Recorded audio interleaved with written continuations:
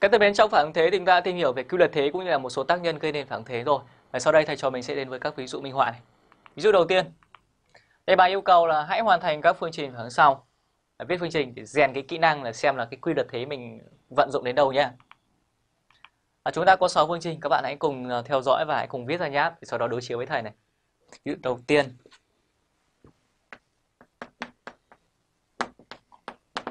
Ví dụ 1.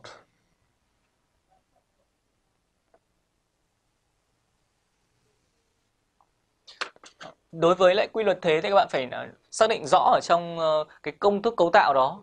Đó là nó là nó là benzen hay là nó là dẫn xuất của benzen? Tức là tại cái vòng thơm đấy nó có sẵn nhóm thế hay là không đúng không? Sẵn nhóm thế các bạn phải tư duy hoặc là nhóm thế loại một nó đẩy e thì sẽ ưu tiên định hướng vào octo hoặc là para. À, hoặc là nhóm thế hút e tức là nhóm thế có liên kết pi nó sẽ hút e. Được chưa thì khi đó sẽ ưu tiên vào vị trí meta. Chúng ta sẽ cùng làm nhá. Ý yeah. à 18 benzen cộng với lại brom. 18 benzen đây. Đó là vòng benzen có nhóm thế là cái gốc 18 C2A5. C5 thì nó là gốc Q rồi, tức là nó chỉ có liên kết đơn thôi.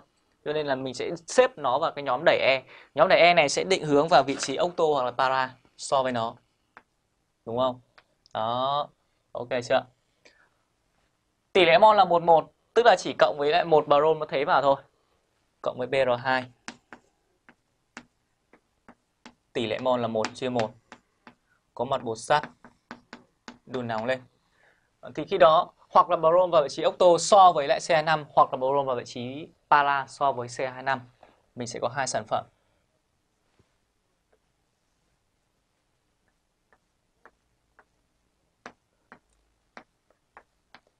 Hoặc là các anh brom vào vị trí ốc thô so với lại cái anh C25 đúng không? Cộng với lại HBr.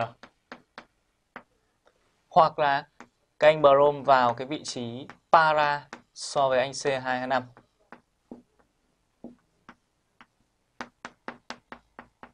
Ok chưa?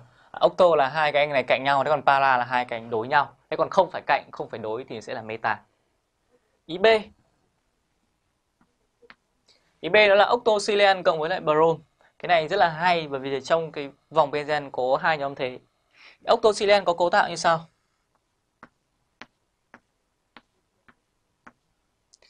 À, anh này là CH3 anh này cũng là CH3 octosilen chúng ta rất hay gặp ở trong các câu hỏi ở trong đề thi. Thì cái anh này nó là tên thường thôi. Thế còn, còn tên thay thế của nó sẽ là 1,2 dimetin